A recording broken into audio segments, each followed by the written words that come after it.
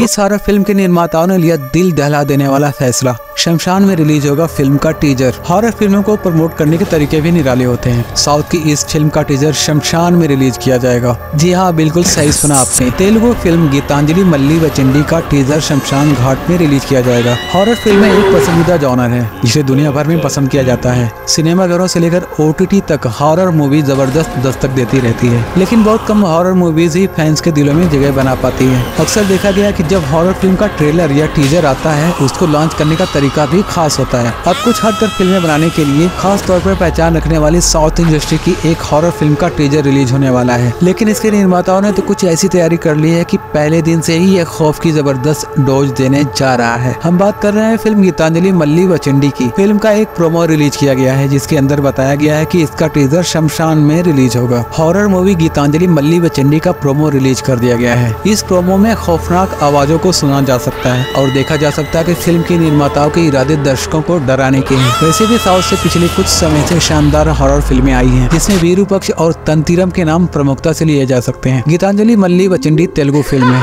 इसमें भरपूर मसाला नज़र आ रहा है। हॉरर मूवी गीतांजलि मल्ली व चंडी 2014 में आई गीतांजलि फ़िल्म का सीक्वल है। 2014 की इस फ़िल्म में भी अंजलि लीड रोल में थी। इस तेलुगु हॉरर कॉमेडी ने बॉक्स ऑफ़िस पर ज़बरदस्त कामयाबी हासिल की थी। गीतांजलि का बजट सिर्फ़ चार करोड़ रुपए थे लेकिन बॉक्स ऑफ़िस पर इसने लगभग दस करोड़ रुपए का कलेक्शन किया था।